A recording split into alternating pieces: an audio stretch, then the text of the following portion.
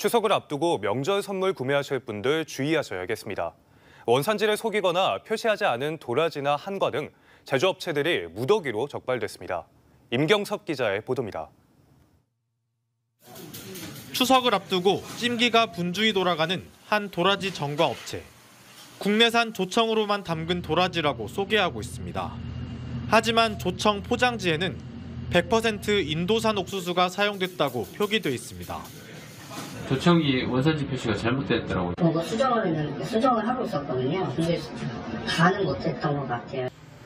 양갱으로 유명한 광주의 한 한과 업체도 중국산 도라지를 국내산으로 표기하다 적발됐습니다.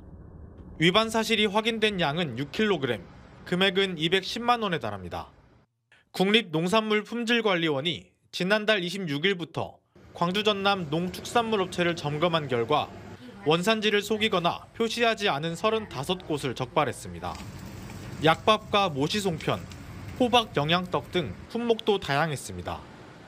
원산지 거짓 표시로 적발되어 형사 사건으로 처리됩니다. 7년 이하의 징역 또는 1억 원 이하의 벌금에 처해질 수 있고 농산물 품질관리원은 원산지 거짓 표시 업체들에 대해 형사 고발과 함께 과태료를 부과할 계획입니다.